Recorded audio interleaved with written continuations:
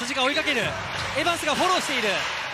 ここは残したブラックシャー。ただダンカン前が空いて大阪のダンク。前節のようなキックプレーになったんですけど、ね、いやそうですね。まあですからこうもう少しボールを回しながらこうなってもいいかもしれないですね。あーっとここはかなりミスマッチがあったところカイソットリードを見せたというこのコー・フリッピン。見事なその身体能力見せていきました。そして目立ったのが第1クォーターの終盤中間さん、はい。この広島のピックラインナップですね。いややはりこの高さは脅威になりますよね。ゾーンが効きました。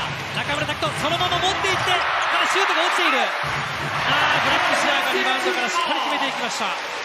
作るだけじゃなくて空いた形でドリブルから崩すのもいいかもしれないですね。さあそなるほど。ローポストに入ったカイソットここでボールをも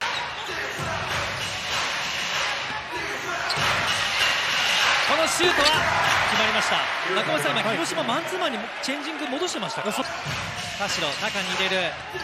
ダンカンとマーフィーニック・メイヨのフォロー。ただ外に出して岸本。時間がない中で決めていきました。岸本隆一さあもう一度ご覧いただきましょう。ここでダンカンに対して2人で守っていました。いや広島ここまでいいディフェンスしたんですからね、はい、そして岸本正面から受けるキャッチシュート。決めていく。B1 でトップのリバウンド力の琉球。あここでパスが。渡っている。コーナーのスリー。小野寺決めていきました。今村。いやダンカンに戻す。ダンカンとマーフィーです。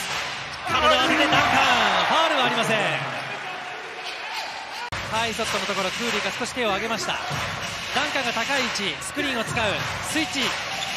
このシュートがあー決まりました岸本隆一。広島ここでスイッチ。スピードに乗った岸本。あっと後ろにパスを渡してダンカンのスリーポイント。ここに岸本のマッチアップカイソットの渡辺変わりません。ここで寺島からあカイソット。読んでいたのは岸本です。ここは岸本の頭脳プレー。ステップ踏んでいやーブラックシアーのブロック。ダーラム。ここで来た。外。小野寺。ターンしてこのシュート。落ちて決まりました。小野寺決ました。ダーラム。ダーラムがボールを持っていってフロントコート。シュート決めていきました。レイアップ。最後マーフィーが決めていきました。琉球ゴールデンキングス。前人未到西地区6連覇達成です。